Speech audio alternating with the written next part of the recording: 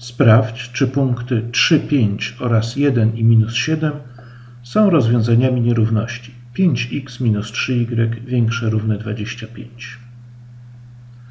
Czyli co? Czyli musimy wstawić współrzędne tych punktów do naszej nierówności, no i sprawdzić, czy po wstawieniu lewa strona rzeczywiście jest większa równa od prawej. Więc zacznijmy może od punktu 3, 5. Czyli tak. 5 razy 5 razy x, czyli razy 3, minus 3 razy y, czyli 5. No to jest nasza lewa strona. Widzimy, że to jest 0. No i pytamy się, czy 0 jest większe równe 25. No i oczywiście tak nie jest. Nie, zatem trzy, pięć nie jest.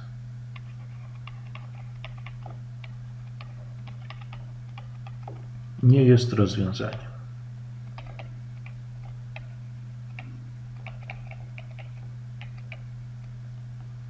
Sprawdźmy teraz drugi punkt, 1 i minus 7. Czyli mamy tutaj tak 5 razy 1 i minus 3 razy, no i y jest minus 7, tak? Czyli to nam daje 5 plus 21, czyli 26 i to rzeczywiście jest większe równe 25, czyli punkt 1 i minus 7 jest rozwiązane.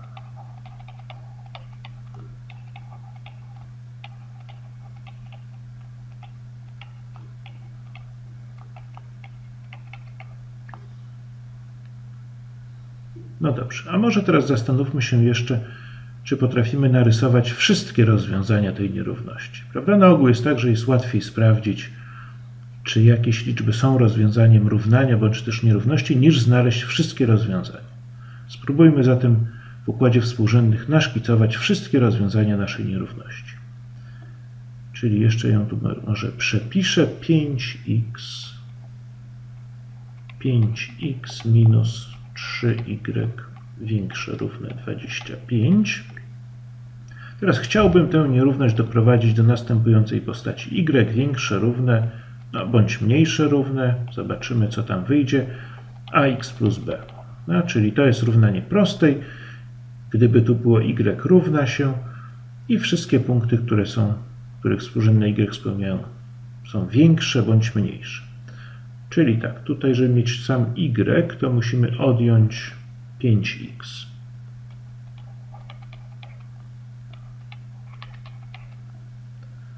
No w ten sposób zostajemy z minus 3y po lewej stronie, większe równe 25 minus 5x. Teraz dzielimy przez minus 3.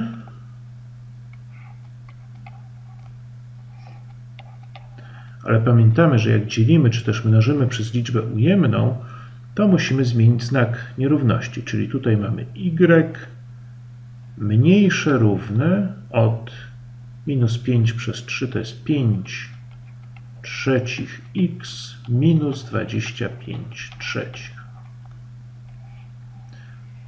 No, czyli tak, widzimy, że mamy tutaj równanie prostej. 5 trzecich x minus 25 trzecich. Spróbujmy je narysować.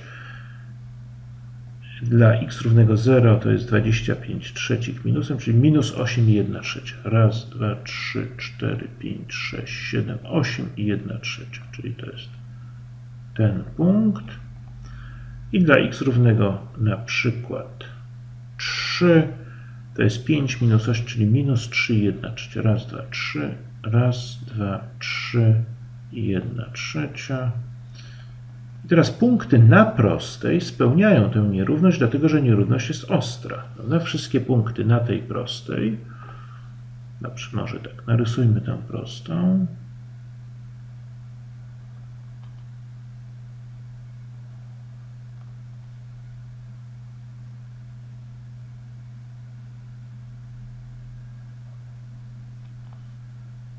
To jest ta nasza prosta. To jest prosta y równe 5 trzecich x minus 25 trzecich. Tak, i teraz jeżeli pomyślimy o jakimś punkcie x, prawda, weźmiemy jakikolwiek x, to teraz widzimy, że y, które spełnia tę nierówność, to tak, odpowiadający y równy 5 trzecich x minus 25 to jest punkt na tej prostej, y mają być mniejsze, prawda? czyli dla ustalonego x wszystkie punkty pod tą prostą. No i tak możemy, tak jest dla każdego x, czyli widzimy, że rozwiązaniem tej nierówności są wszystkie punkty pod prostą 5 trzecich x minus 25 trzecich razem z tą prostą, dlatego że nierówność jest nieostra.